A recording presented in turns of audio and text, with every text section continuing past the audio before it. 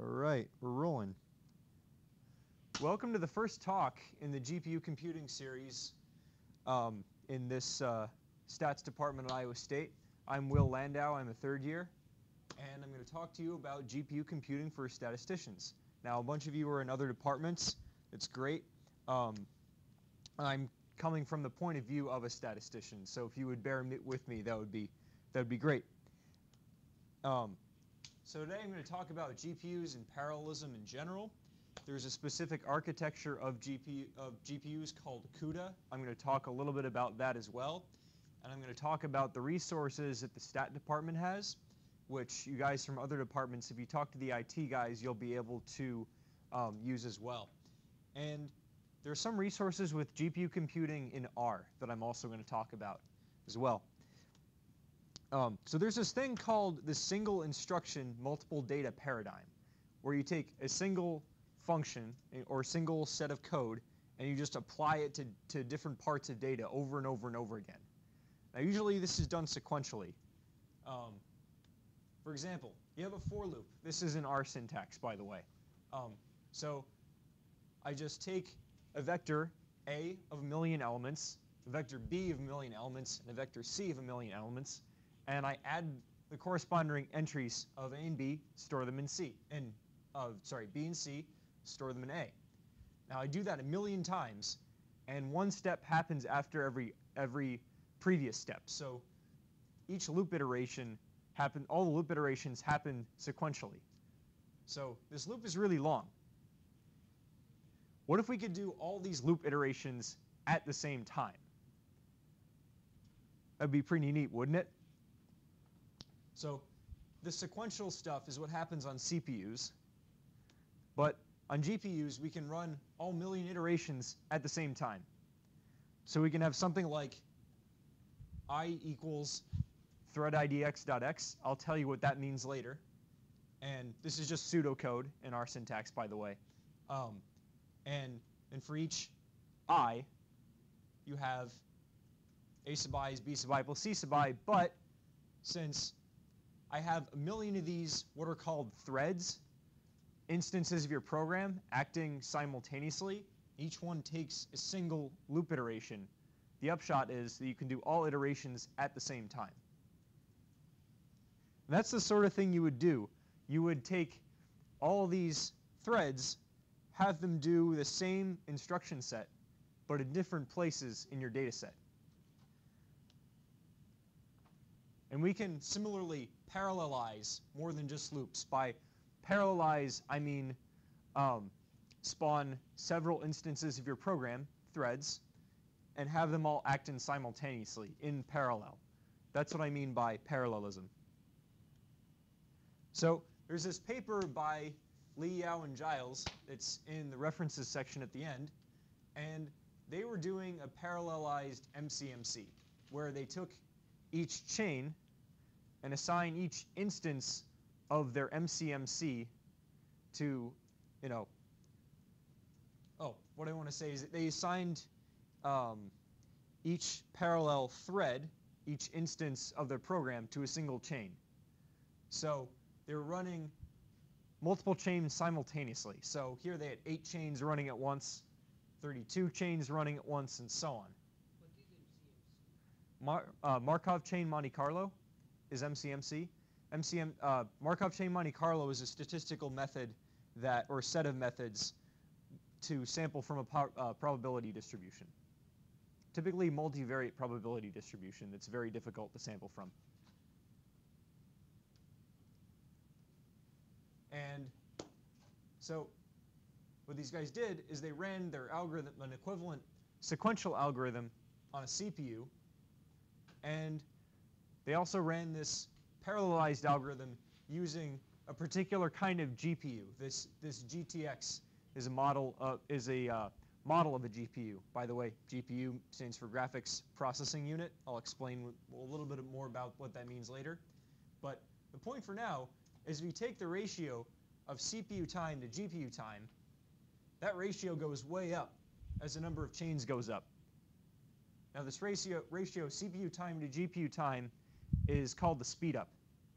And we get a speed up eventually. If the number of chains increases really high, then we get about a more than 200 fold speed up, almost 300 fold speed up. And this is a lot more of a speed up than you would get if you were running a state-of-the-art sequential algorithm. These are speed ups that you don't see practically anywhere else. This is very, very high, and it makes a huge practical difference. So how many uh, kernels do you have in uh, this kind of GPU? How many, how many cores? Yeah. I don't know off the top of my head. I'm not familiar with the GTX. I only actually know about the Teslas that we have um, on our servers, which have about, they have 448 cores. I don't know what model this one has, but you can certainly look it up. It's the GTX 280. That's the um, that's the top of the line Fermi architecture. It's probably the same that you have for the um, for the Tesla units because the only thing that changes is the memory, but not the actual uh, processor. Okay, Probably is about the same. okay. So it was commented that the GTX is probably about the same, for those of you online, um, is about the same as the Tesla with some minor memory differences. And um, so, yeah, if GTX is anything like the Teslas that we have, then you would expect them to have 448 cores, but I don't know the, the exact number. It says it has 240 cores. 240 cores for the GTX? Thanks. If I'm reading this right. Okay.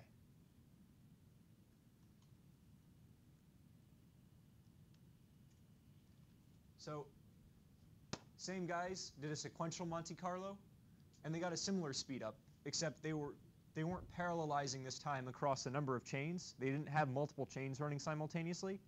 They had um, the algorithm work on different parts of the data in parallel. So as the sample size goes up, then you start to see you start to see more and more of a speed up. We actually get a pretty good speed up even at their starting sample size. Admittedly, was already 8,000. So um, in any case, you still get a 200-fold speed up here. It's another example. And this one's a paper by Suchard, Wang and Chen. It's another paper that I you can find in the references section. They explain their methods and how they introduce parallelism into Bayesian expectation maximization. And they parallelize across the data too. So as sample size goes up, the speed up gets just, just over 100.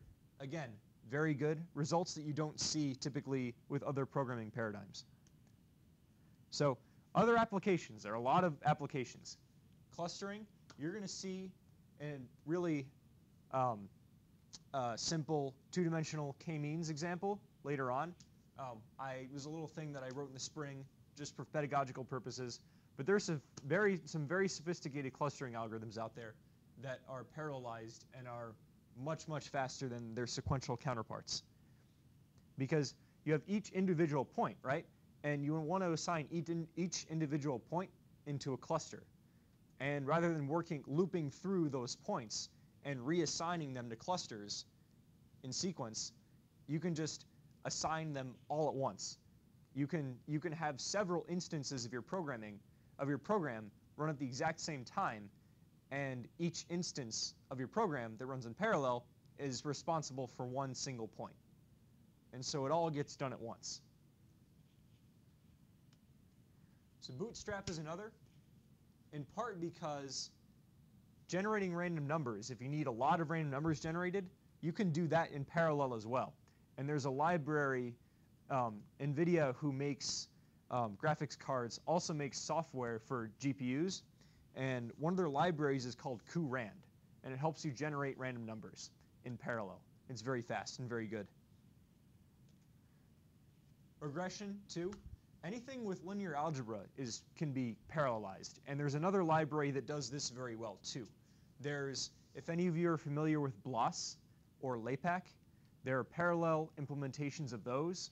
They're called cuBLAS and cuLA, and they help you do things like regression, because all regression is is matrix algebra. Um, typically, if you're talking about ordinary least squares. Um, for other maximum likelihood stuff, um, that that and, and more complicated regressions, generalized linear models, and stuff like that.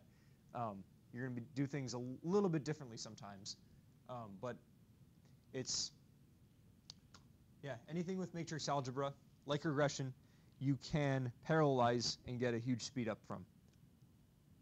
Like I said, matrix algebra in general, EM algorithm. You already saw that the Bayesian EM was, I mean, was successfully parallelized Rejection sampling, believe it or not, you usually think of rejection sampling as sequential. You know, you loop through, you, you iterate the algorithm until some condition holds, and then you stop, right? But rejection sampling usually means generating a lot of random numbers. And that can be, that part of the program can be parallelized. Also, if you're doing rejection sampling, if you're doing a multivariate rejection sampling, you can sort of parallelize across the number of variables that you have and speed up each, each sort of, each iteration of the rejection sampler too. So even though it's not obvious, there are ways to parallelize rejection sampling. Um, multiple testing. If you have several thousand tests that you want to do, several thousand hypothesis tests, in the tens of thousands of hypothesis tests, maybe you don't want to loop through and test each one individually in sequence. Maybe you want to do them all at once in parallel. That's another way, uh, application. Um, cross-validation is another one. So usually in cross-validation, you divide your, your data set into a training set and a testing set, right? And you compare what you get in the training and the testing, right? But really sophisticated cross-validation methods, you know, loop through all possible partitions of your data, right? It's sort of um, k-fold. That's that's what's meant by k-fold cross-validation. And so each part for each partition of the cross-validation, you can assign that to a parallel instance of your program, and then all those partitions, all those those cross-validations for each uh, partition of your data can all get done at once in parallel. And there are tons more applications. And my goal is to teach you how to write the software to do any and all of these that you want. Believe it or not, there's a lot of applications of parallel programming and GPU uh, computing. Not a whole lot has been done. And a lot of this code you're going you're to be writing yourself. And my goal is to teach you how to do that. So, but to do that, we need to talk about the hardware because an understanding of the hardware will help you optimize your code. Now, so basics on computer processors. A processing unit is a computer chip that performs executive functions. So that's a, when, when somebody says processor, processor or processing unit or CPU, they usually all mean the same thing. So a core is one of many subprocessors on the same processing chip. It used to be that a core and a processor were the same thing, but it turns out that you know, in the when parallel computing was just starting out, you just you had um, two processors very close together on the same chip, and those are actually cores, and the big the bigger processors were actually the, the collection of those cores. So processing units are subdivided into cores, each of which is sort of sort of contributes to the executive functioning of the computer. So CPU called a central processing unit. It's just your regular computer processor. And you can do things in parallel on CPUs, but you can't do massive parallelism, you know, parallelism on the kind of scale that we're talking about for GPU computing. Um, CPUs, part of their limitation is they only have one to eight cores. I think the number of cores these days goes up to eight. Maybe in the future it'll go up to 12 or 16 or something. Um, I've only heard of eight, up to eight personally. Um, here's some examples you might be familiar with. There is the Intel 8086, which is based off the x86 architecture. I'm sure a lot of you heard of x86. Even more of you might have heard of Intel Core 2 Duo. A lot of Macs have that. It's a very common, very successful kind of CPU that's out there. And here's a picture. It's just a, a processing chip, and you'll find it on the motherboard of, of every computer. The GPU, on the other hand, is a graphics processing unit. And it's not a replacement for a CPU because it's a processor on a video card or graphics card. Believe it or not, graphics cards have their own processors. And they can do massively parallel calculations. And they're originally designed for really high throughput in um, displays on earlier versions of Windows and in things like video games. And like I said, it's not a replacement for a CPU. It can't run by itself. To run a, a GPU, you need to be hooked up with, to a computer with a CPU. Great thing about it, one of the reasons it can, it, we can do massively parallel calculations on it is it has several hundred cores. Now, the more cores a processor has, usually, the, the more parallel instances of your program you can, you can create, and the more you get done in parallel steps of your code. It also has higher memory bandwidth than the CPU, meaning the cores can communicate quicker with on-chip memory than in a CPU. So here's some examples. There's the GE 460, uh, 6600. Um, there's the GTX. Another GTX model is featured in one of the papers I mentioned previously. And then there's the Teslas. Now, that we have Teslas on you know, our stat department, GPU accelerated Linux machines. And here's some pictures. You might be familiar with a picture like this. This is a graphics card that you might buy and install inside of your computer. Um, here's what one of the chips look like, looks like.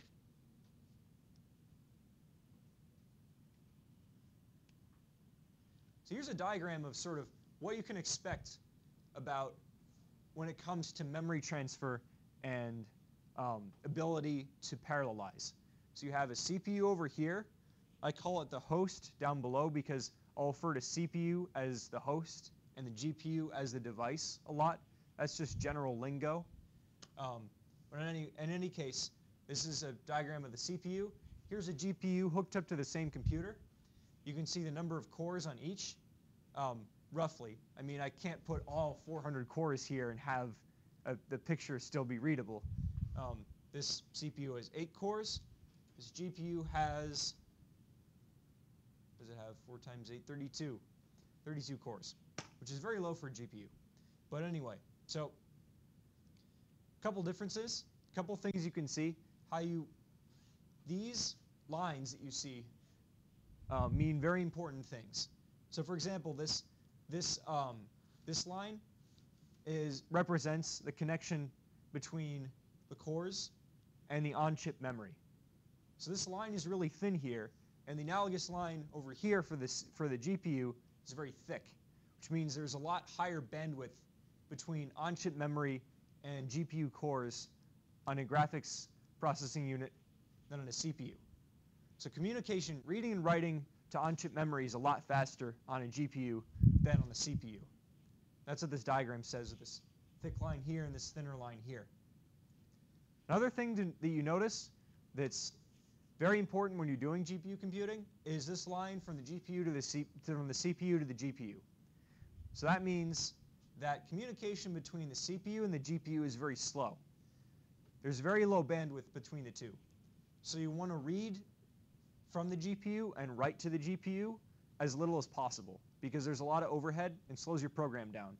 Once your data is on the GPU, then you're, you're golden, you're set. You can run things really, really fast. So the benefits of writing to the graphics card better outweigh the, that overhead if you're going to do parallel computing. But if it does outweigh the uh, cost, then you're going to get a really high speed up once, once your data is actually loaded.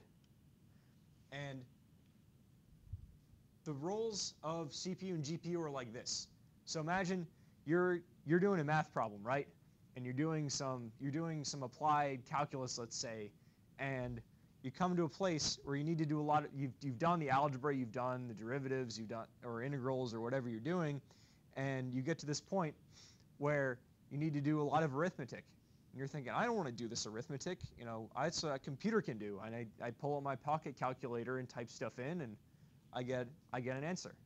You know, it's this it's this menial number crunching that I don't want to do, but the high level thinking I take care of. The, the CPU GPU relationship is kind of like that. The, the CPU does the executive functions, sort of the high level high level thinking, and then when you get to mind-numbingly dumb tasks that, that need to be done over and over and over again on different parts of the data, the CPU says, well, I don't want to bother with this stuff. I'm going to send my data to the, to the GPU and let the GPU take care of that. I, can, I have all these minions, all these cores that I can use to my advantage.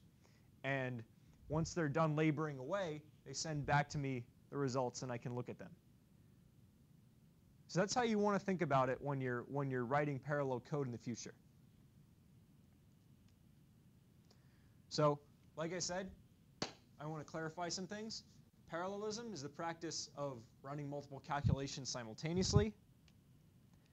And the architecture of GPUs is extremely well suited to massively parallel workflows. And that should have been evident from the diagram before. You had a lot of cores, they could all run simultaneously, and in addition, very, very high memory bandwidth to on-chip memory. So, but there are other kinds of parallelism. So this GPU stuff is particular to this architecture, and there are a lot of other kinds of parallelism. There's strictly CPU parallelism, and most people do that with things called POSIX threads. Does anyone, does uh, pthread create ring a bell for anyone? Anyone done POSIX threads? It's very hard. It's a lot harder than, than, than GPU computing. When I, I learned POSIX, or I tried to learn POSIX threads as an undergrad in a computer science class, never got the hang of it. I thought this GPU computing stuff, when I started, it was going to be really hard, and it's actually not nearly as hard. Um, if you have a good background in C, then this will be very natural. There's also parallel cloud computing. Cloud computing is to computer science is kind of like big data to statistics. Well, big data is also in computer science. But anyway, it's another next big thing out there. Um, I don't know much about it, but apparently there's a parallelism paradigm in the context of cloud computing. Um, there's also OpenMP. It's been around, around for a while. I don't know anything about it, but it's an alternative. And then, whoops, did I say OpenMP twice? I didn't mean to do that. I, what I meant to do is say OpenCL. So OpenCL is, CL stands for Common Language. There's this OpenCL paradigm that says, well, we want to take C code and we want to help people do parallel computing in that language without worrying about any architecture. You know, you can load it on a, on a GPU or another kind of, of massively parallel processor architecture and just parallelize things without worrying about what kind of hardware you have. And that's, that's really the idea behind OpenCL. It's very new, but apparently very good. So for GPU parallelism in particular, this is what kind of speed up you can expect. So um, if you want to know how much speed up you can theoretically get, you'll look at Amdahl's law. And, and um, Amdahl's quantity, which is this, gives you the maximum, maximum theoretical speed up across cores. So, that's, so this is uh, CPU execution time divided by GPU execution time. P is the fraction of, of the programs, uh, of the program that can be parallelized. And this fraction is in terms of execution time, the fraction of execution time that can be parallelized. And n is the number of processors. So if we take, if we have a lot of cores, as n goes to infinity, Amdahl's quantity goes to this. Which means, for example, if 99% of the program can be parallelized across cores, then we could have a hundredfold speed up. And that's the sort of thing that we saw in previous examples. Um, the thing with Amdahl's law, though, is it only talks about parallelism across cores. Each core can also multitask, which means you might even, if you just have a really efficient machine, and you could imagine that just parallelism across cores gets exactly gets you to exactly this level of speed up, you might even be able to make things run faster because each core can multitask. I mean, imagine, you know, your, your processor multitasks all the time, your, your CPU. That's why you can run Word and run Excel, for example, at the same time. You know, your computer multitasks, and it's, it's you know, very natural for, you know, people to multitask. So, for example, if you're, if you're, if you're making dinner for people and you're cooking soup and you're baking bread, I'm going to mix the bread dough up, but I'm not just going to sit there and stare at the bread waiting for it to rise. While the bread's rising, I'm going to go chop up vegetables, right, for the soup. The, your, your, the computer, the cores do exactly the same thing. While, while the core is waiting for data to be written or, or wrote, um, written or, or read from sort of some distant memory location, it goes off and do something else. And when the data comes in the mail, then it goes back up, back to what it was doing previously. So, and that can that you can get speed ups from that. So, um, be aware of that as well. You're not limited by the number of cores. So, a little bit more about how GPU parallelism works. A little bit more lingo. Um, the GPU, the CPU sends a command called a kernel to the CPU. Now, kernel is an instruction set that's meant to be executed multiple times over the data. I'm going to use the word kernel a lot. So, the kernel is executed multiple times. Those separate, du those duplicate um, executions are called threads. So these threads that I've been talking about, which I have in the slides now, are separate instances of your program, separate parallel instances of your program that are run on the GPU. And for convenience and very practical reasons, which I will get to in detail in later days, these threads are grouped together in bunches called blocks. It's very, very easy for threads within each block to communicate among themselves, and communication across blocks is different. Um, that's is, is, is more difficult. That's one of the reasons we, we group threads into blocks. Um, and there's all sorts of memory issues as well with threads and blocks. Um, blocks get their own sets, their own private sets of memory as well. It's very convenient to group threads into blocks. So that's what we do. And the sum of all total threads in this in a kernel is called a grid. So you have a whole grid of threads, and this grid is divided into blocks. Um, so here's here's how something like this might might carry out in practice, and hopefully will help you understand what I mean. So here's a toy example. So the CPU about sends a kernel to the to the GPU, and the kernel is some pairs of adjacent numbers. And use this array, the numbers 1 through 8, and do that with two blocks of two threads each. So here's what's going to happen. So the GPU thinks that's the kernel, and this is the data, and it's given how to parallelize that calculation with the numbers of blocks and threads. And what it does is it executes four sums in parallel. So in block 0, thread 0 computes 1 plus 2. Block 0, thread 1, thread, that thread computes 3 plus 4, and so on. And the last part of that array gets summed up in the threads in that block number 1, that second block.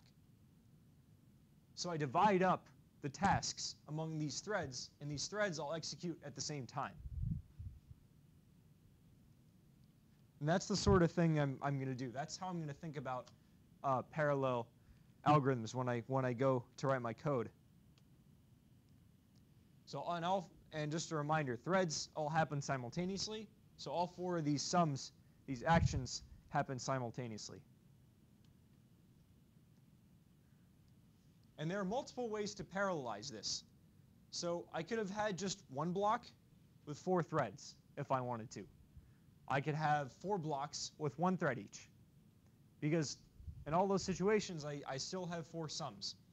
And it's, it can be tricky to, to decide how many blocks and how many threads you need. And I'm going to talk a little bit about that later, but it, there's, there's, um, uh, there's for, for reasons that I'm not going to get to yet, it's good to have um, thread the number of threads as a multiple of 32.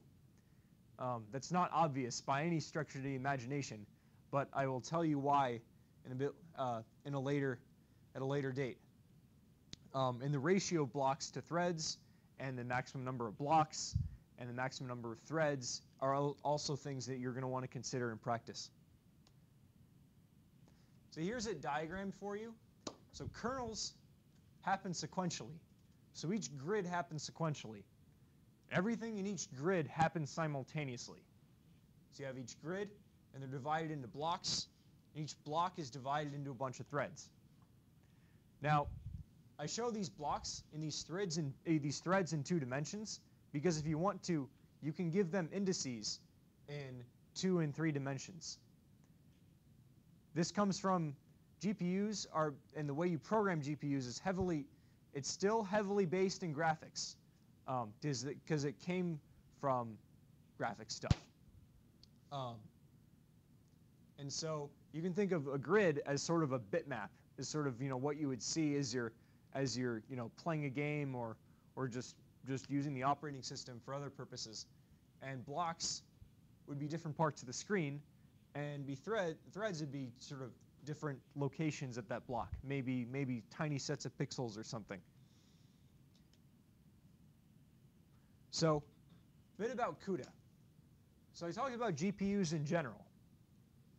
And CUDA is a particular class of, it's, it's a particular architecture and a particular class of GPUs. So like I said, GPUs are originally meant to speed up video games and graphics displays. And games like Duke Nukem 3D really sped up the development of GPUs. This should bring back memories for some people. Um, I'm a retro gamer, but usually not that retro. So the trouble is, I mean, scientists were looking at GPUs and say, saying, wow, maybe we could use this, this architecture to speed up our data analysis. Trouble is, they had to program in graphical languages.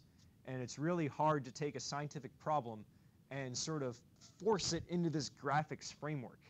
I mean, it's, it's, really, it's really hard to, to port to that. But, but scientists are used to things like Fortran and C and other languages, other general purpose languages. And people thought, well, wouldn't it be nice to be able to program on a general, in a general purpose language on a GPU? And that's exactly what CUDA does. So CUDA stands for Compute Unified Device Architecture. Unified meaning un it unifies you know, some of the CPU functionality with the GPU. And it's meant for general purpose computing.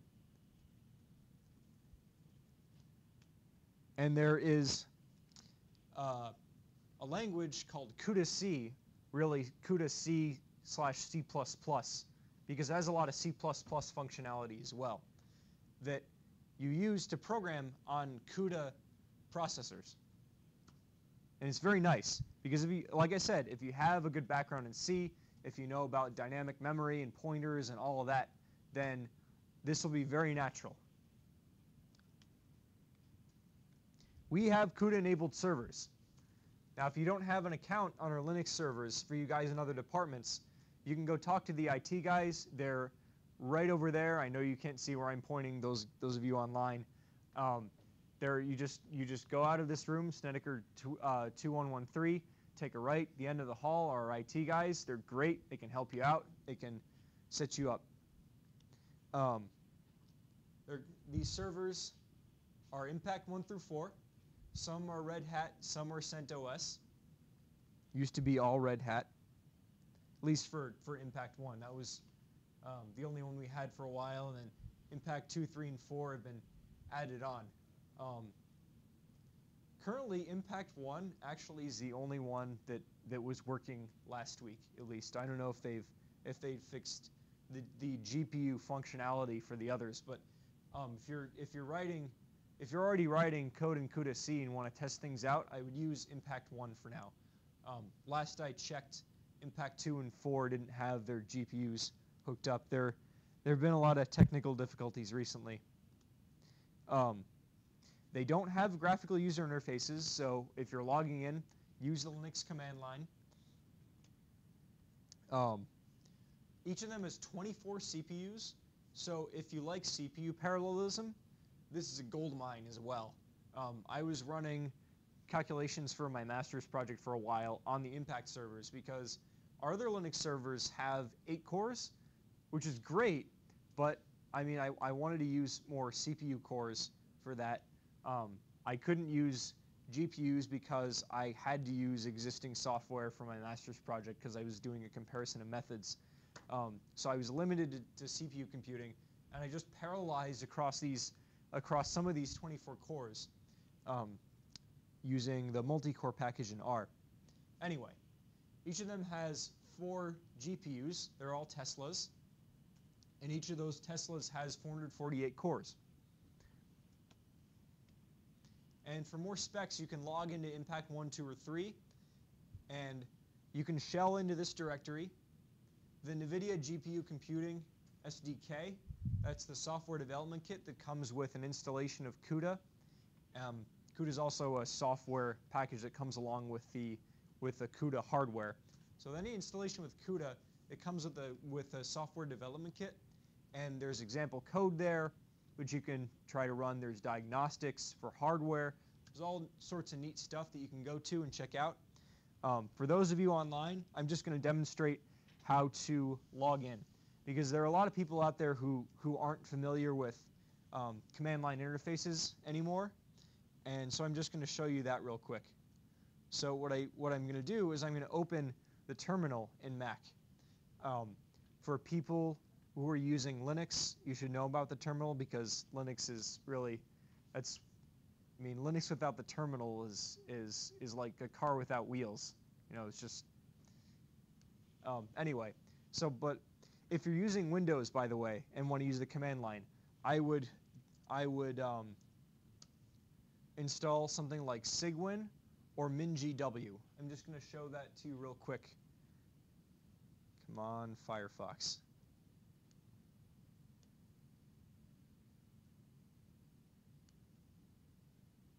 Oh, well, it'll take a while to load. So anyway, I'm going to show you how to log in.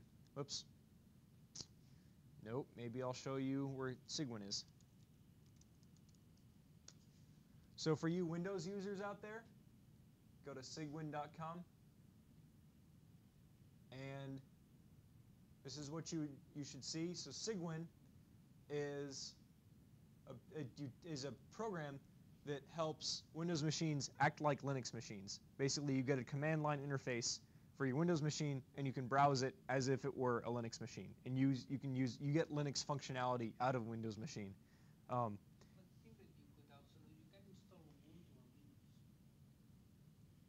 on Ubuntu on Windows, you say? Yeah. Yeah, you can. You can install Ubuntu on Windows too. That's um, and you can install any any Linux, as far as I know, any Linux uh, um, distro on Windows. Problem is, not a lot of people want people change operating system. If you still want to, You can launch Ubuntu from Windows. you mean in a virtual machine? No, in an actual machine. Oh, okay. You can, I mean, there is a version of, I've done it, you install it in your laptop, and then you just, you know, well, okay, yeah, I see what you mean. Yeah. You see, are you saying that that Windows can have two different operating systems? no, Okay. no. I mean, I mean that, yeah, you can, you have to, I mean, you have to log out of Windows to get into it. Yeah. But you don't have to partition your hard disk, that's what it I see. So you can load, you can you can install Linux on top of Windows and then log out of Windows and log into Linux. Yes. That's pretty nice. I didn't know about that. But, but it, I mean, you don't have to format your hard disk or, but it's still, Mhm. it's not like you can log from Windows without logging out. Right. Right. But it's, you know, kind of, I don't know, maybe Cygwin is better if you want to kind of do the same without logging out. Yeah. Yeah, I think Cygwin might be convenient for people who don't need to log out, but who don't want to log out. But do you have access to the same file system um, when you log out? So you do have access to the same file system if you log out of your Windows copy and then. you can, but it's not, I mean, yeah, you can, uh, yeah. I mean, I have, I've done it, I don't remember because I haven't done it. I, I have it in my laptop, I had my laptop here, I could show you. Okay. Well, that's really neat to know. For those of you who are watching the screencast online, there's a way to install Ubuntu on a Windows machine and not have to partition your hard drive or delete your copy of Windows, which is really nice. Um, but anyway, for those of you who want to stay working in Windows, Cygwin is great. Um, you can you have the same Linux functionality, Linux command line functionality on a Windows machine. That's great. For those of you who are running Macs like I am, go to Utilities and open your terminal.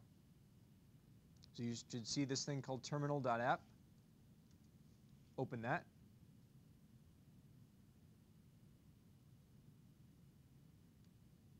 And this window is my terminal. I'm going to make this text big for you. So, one thing to note if you have in your home directory, there should be a file called .bashrc. And to make logging into Impact 1 really easy, you can use an alias. So I have an alias to log into Impact 1. That's this line right here. It's all one line, believe it or not. I've just made the text really big. Let me fit that all in one line. There you go. So what I want to do is SSH into Linux. I can I've I set up my alias so that um, I just have to type in the letter I and hit enter and I log in. But for everybody else who doesn't want to maybe modify your bash RC, you would SSH or secure shell into Impact 1. So I'm going to go ahead and do that. And it takes a long it takes a while to log on. And there's this krenew or kinit thing that has to do with access to your SCSI files. Um, I'm not I'm not going to bother with that. I never use SCSI files. Um, point is now you're on Impact 1. And you can do Oh, by the way, the Impact machines are hooked up to port 323. For other machines, the port might be different. That's why that dash P flag is here. Um, the syntax is just, by the way, SSH, your ISU ID, and then at impact1.istat.istate.edu. Talk to the IT guys if you want to, if you can't log on. You may not have an account with with um, the uh, our our Linux system yet. And what else? I want to run device query, so I know what specs I have. So I'm going to shell or cd into user local NVIDIA SDK cbin Linux release.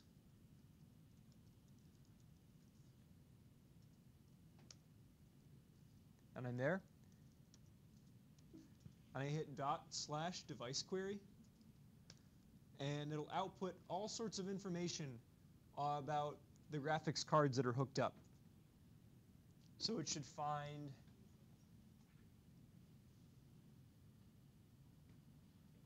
it found it should have found four cards. They're indexed from zero to three. And it gives you they give you all kinds of information. Um, here's a spec for specs for device two. It tells you it's a Tesla. It tells you the version of CUDA. We're trying to upgrade to five, um, currently at four. Uh, there's this thing called compute capability, which you'll want to know when you're about when you're writing code. You get the number of cores. It's 448. You can you get all sorts of specs about the hardware. Anything you're wondering about, you can about the hardware, you can um, you can look up here. Maximum dimensions of each grid, that's the number of blocks that you can spawn in, in each dimension. So you get about 60,000 blocks in each, each dimension. And in the x and y dimensions for each block, you get about 1,000 threads. So you can have a lot of threads. You can have uh, millions of, of threads if you want to. You only get 100 cores, though, and that's going to limit you a bit in practice. I, I, before I said that the number of cores doesn't limit you. Um, but I mean, it does, but not not strictly. So I already explained how to log on. It's there in the slides. And if you don't know about the command line, you can go to this URL or you can contact me or Stat IT. You can, like I said, you can contact Stat IT if you can't log on. You want shortcuts to log on without having to enter your password, or you want to shorten um, your SSH command. So important directories are the following. So there's your, your home directory, home slash ISUID. That's your private folder on our all of our Linux servers, our SMB system. And that's stored remotely. That's not stored locally on Impact 1. So if you have a, a huge file of data, then you're not probably not going to want to store that here if you need to read and write it really fast from the CPU side, at least, because that's not actually stored on Impact 1 or 2 or 3 or 4. Um, you have a CyFiles folder, and that's even slower than the SMB in terms of communication. You have the temp uh, folder, and everything here is stored locally on whatever machine you're on. So that's where you might want to store data. Keep in mind, though, that the temp folder empties about every two weeks or so. So you don't want to keep really important things on there. Um, and then there is the software development kit from NVIDIA. Is exam is, has example code, and that's stored locally on whatever machine you're on. And you don't have write privileges here, so you have to copy you have to copy code to the folders that you can control in order to compile it. Um, you can run the binaries there, though. Really quickly, GPU computing in R. I don't have much time, but um, all the slides are there, and I also talked about this in the condensed short course. So there are a bunch of R packages for GPU computing in R. Actually, there are not very many relative to you know the opportunities for parallelism that are out there. There's uh, these four, and then there's the one I like, which is GPU tools. It's a machine learning package that also has some general purpose functionality to it. So you can choose which there are, I'm just going to go through some functions in it. You can choose or set your GPU ID. You can that means you can control which graphics card you can you're you're actually using if you have multiple graphics cards. There are a bunch of functions for linear algebra, matrix multiplication, Euclidean distance, cross product, QR, and SVD factor, uh, factorizations, um, solving systems of linear equations. There's equivalent functions for LM and GLM, which is really cool. If you know the, every, everyone knows, or a lot of people know, the LM command and the GLM command in R. GPU tools gives you parallel implementations of LM and GLM. So that's something you can use right now for, for a lot of analyses. There's hypothesis testing, there's, and then there's a bunch of machine learning functions right here, clustering and, and uh, uh, su uh, support vector machines and all that kind of stuff. So I have some example code, don't have time to go through it, but it just demonstrates that matrix multiplication on the GPU is much faster. So here's a GPU matrix multiplication here um, in GPU tools. Takes about three seconds. The equivalent CPU matrix multiplication in R takes um, more than, well, almost 50 times longer than it did in the GPU version, in the CPU version rather, because the matrices are very big. They have uh, 10 million entries each. Um, a couple years ago, I did a, well, a year ago, I did a comparison of GLM versus GPU LM, and I increased the number of observations, and I saw, you know, I, I tried to measure the speed up as you increase the number of observations. Now you can't see the, the green line very well, but that's the GPU, that's the runtime on the, on the GPU version, the, the GPU GLM. The blue is the CPU runtime, and as you go to um, 10 to the 5, this is 10 to the 5 observations. As you go past 10 to the 5 observations, you start to see more and more of a speed up here. You need really big data in order to see speed up. But if you But if you do have a lot of big data, then then um, this is to your advantage. There's also um, on the GPU Tools website, you'll see um, a bit about their Granger causality test. Granger causality test is a is a hypothesis test that tests um, whether one time series is useful in predicting another. And as you see, as the number of random variables increases, they get you do see more and more of a speed up. All right. So uh, I know I have, well, I'm over time, but just real quick, how the, the breakdowns of the, of the talks is going to be as follows. Intro and GPU tools, that's today. Next time I'm going to talk about a codeless introduction to GPU parallelism. So I'm going to take specific algorithms, a lot of examples, and I'm going to show you how to break them down in parallel in, pre in preparation to uh, for the for the for implementation on the GPU. I'm going to introduce CUDA C the next time. Once you understand sort of how I would think about parallelizing code, I'm going to actually write some stuff or show you stuff that's already written in CUDA C. Then I'm going to jump right into some examples that statisticians like. There's k-means, and there's uh, Markov chain Monte Carlo from um, one of my classes. Um, Zeb here and I took Stat 544. Um, so did uh, some more of us. So did Sam and Jeff. Were you in that class, Stat 544? No? It was a great class. It was a really good class. And uh, um, there was one example about a bladder cancer data set in MCMC. And I'm going to go through that. Zeb wrote um, a parallel MC, a parallel sampler that I'm going to present. I actually modified it a bit. He'll recognize the modifications. Um, but I'm going to present that. And then I get into more advanced stuff. So there's um, managing shared memory. Remember I said blocks get, get their own private memory. That's shared memory and measuring the performance of code that you write for the GPU. Then race conditions, atomics, and warps, even more advanced. Race conditions and atomics usually happen in CPU parallelism. That's part of the reason CPU parallelism is so hard, is because of race conditions. They don't appear as much in the GPU, but it's worth knowing about. Then I get into libraries that, that you can uh, use from NVIDIA. So NVIDIA has linear algebra libraries, cuBLAS and CULA. To go over those. Anything with matrices, you'll want to know about that. Generating random numbers, there's an entire library for that, for generating, for accelerated generation of random numbers. It's called cuRAND. It's really nice. And then Thrust, one of my favorites. It's the, it's the, how many of you know of STL, Standard Template Library, C++? A little bit? This is an extension of, this is a GPU accelerated version of um, the STL. Not only that, it has a lot. It has a lot of GPU accelerated algorithms um, that I believe the uh, STL does not have, and I use this all the time in code.